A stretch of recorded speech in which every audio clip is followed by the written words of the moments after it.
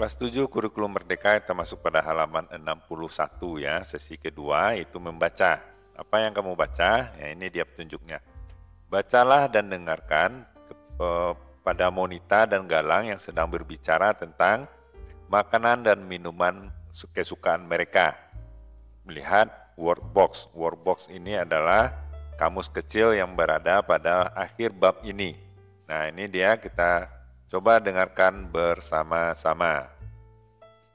Part 1 Galong says basmala before eating. Galong, what are you having, Monita? Monita, I'm having banana fritters. Would you like to have some? Galong, sure.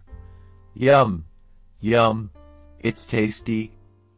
Monita, it's my favorite food for a snack. My mom made it for me.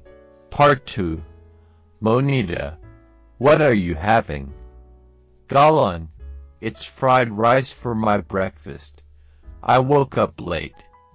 I hurried to school so that I didn't have time for having breakfast at home. Monita, it's late for breakfast now. Galan, I see. Monita, eat your food slowly. Do you have anything to drink, Galang? Oh, sure. I have a bottle of sweet tea.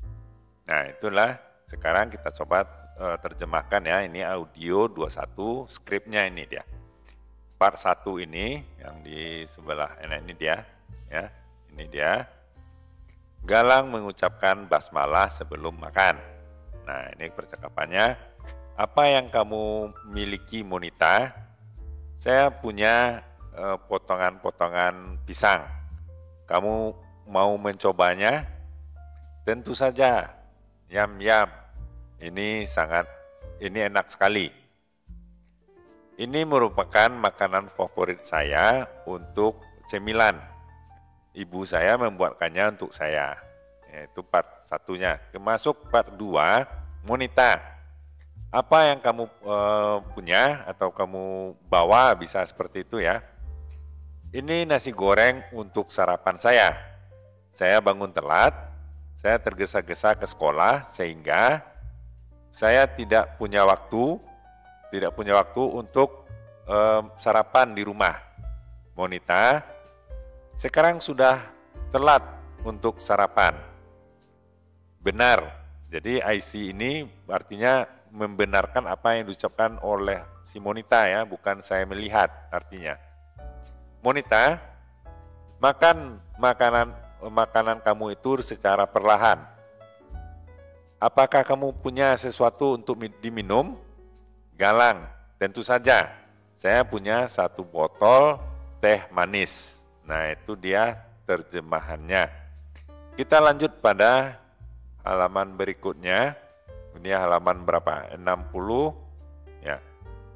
Kita lanjut pada bagian B. Lingkari kata-kata yang benar untuk melengkapi kalimat ya. Untuk yang pertama telah dibuatkan untuk kamu. Nah ini dia nomor satu, Monita menyukai banana fritters untuk snacknya, untuk makanan kecilnya ya. Nah ini sudah saya buatkan jawaban 21, 2, untuk worksheet 24-nya, banana fritters. Untuk B, Galang dan Monita menyukai apa? Banana fritters yang A, B donat. Donat tidak ada ya, jadi jawabannya adalah banana fritters. Donat tidak ada disebutkan pada percakapan tersebut. Nomor tiga, Galang um, sarapan di mana? Di rumah, di sekolah. Ya, jawabannya adalah di sekolah ya. Kemudian nomor empat, Galang mem, um, titik-titik untuk diminum. Apakah dia punya air, air biasa ya, air putih biasa, atau teh manis? Jawabannya adalah sweet tea, teh manis ya. Nah, barangkali itu dulu untuk kali ini, untuk worksheet 24. Mudah-mudahan bermanfaat. Jangan lupa subscribe dan like videonya. Sampai jumpa.